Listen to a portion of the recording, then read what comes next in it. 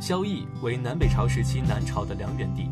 萧绎字士成，小字七福，南兰陵人。萧绎为梁武帝萧衍第七子，梁简文帝萧纲的弟弟，其母亲为阮令英。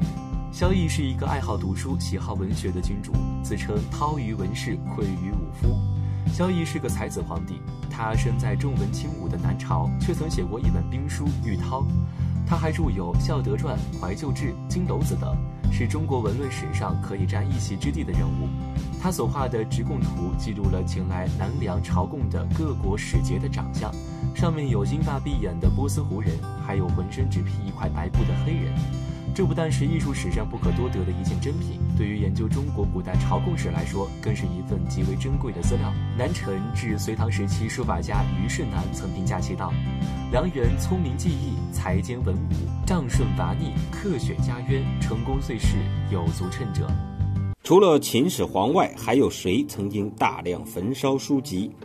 南朝皇帝萧绎从小就在文字方面表现出异于常人的天赋，四岁就认识上千字，能把曲礼念完。长大后，他疯狂地收集图书，首先将国家图书馆文德殿的两万余卷藏书和在首都图书馆收集的公司藏书，共七万余件运回江宁，加上他在江宁的旧藏七万卷，他的藏书达到了中国史上前所未有的十四万卷。公元五五五年一月，西魏大军到达江陵，萧绎集中所有图书，哀叹：“文武之道，今夜尽矣。”然后开始烧书。城破后，魏军与残墟中简理图书只剩四千多卷，直到北周在关中建立之初，藏书才累积到八千卷，到唐初实际恢复的旧籍还不到原来的一半。萧绎一把火烧光了中国南方几乎所有有价值的书籍，这是中国古代文化的一场浩劫。徐娘半老，徐昭佩是梁朝将军徐坤的女儿，作为政治联姻的牺牲品，嫁给了当时还是湘东王的萧绎。新婚之夜，徐昭佩看着因为生病瞎了一只眼的萧绎，内心十分失落。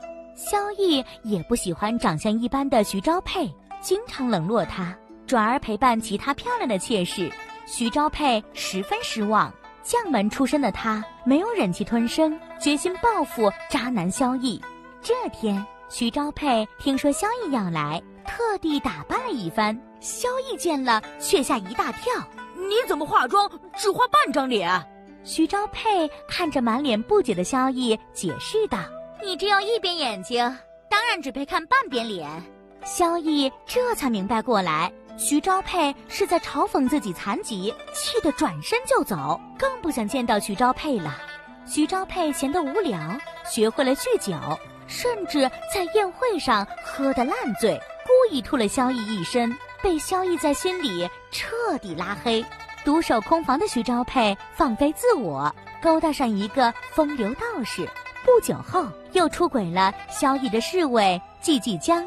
季季江对两人的关系毫不避讳，感叹道：“百只的狗老了还能捕猎，肖丽阳的马老了还能驰骋，徐娘老了依然风情万种。”眼见自己头上的帽子越来越绿，萧绎忍不了了，把宠妃中毒去世的黑锅扣在徐昭佩头上。